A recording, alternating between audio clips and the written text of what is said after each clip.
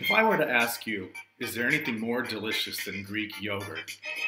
Well, it may sound like a riddle, and the answer to it is yes, it's a riddle, a riddle bar.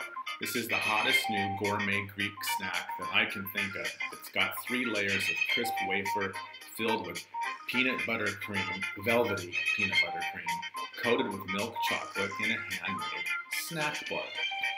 I've also got this kind too, which has got a layer of um, dark chocolate creme uh, at the bottom, whereas this one has got peanut butter through and through. Let's have them. We open it, by the way, this snack comes from uh, the uh, Parfait um, Bakery um, up in uh, north of Greece. Look at this. I'm opening it up. Look at this. A beautiful bar.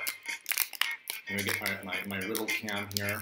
Um, look at this. I, I, I'm not a big fan of posting pictures of Instagram sort of friendly food, but Look at this. It's got like a peanut kind of shape. Wait, there. Ooh, yes, yes. And, okay. Mm. Look at that. I want... I know, don't talk with your mouth full. Um,